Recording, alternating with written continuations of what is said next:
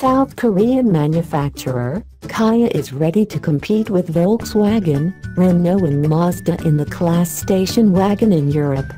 Kia has given the green light to the production process Optima station wagon version. Kia Optima station wagon version that already has that name looks similar to the concept Sportspace who appeared at the Geneva Motor Show in March. That is, the car is virtually identical to the Optima sedan from front bumper to the pillar B. But, apart from the front bumper to the B-pillar-like version of the sedan, the Optima wagon will stand out thanks to the longer roof line. A pillar B and horizontal rear lights also add to the impression sharper. Kia will also provide the highest variants with the GT badge. The variant will carry a 2.0-liter four-cylinder engine with a turbocharged engine capable of spraying up to 240 horsepower and 260 lb-ft of torque.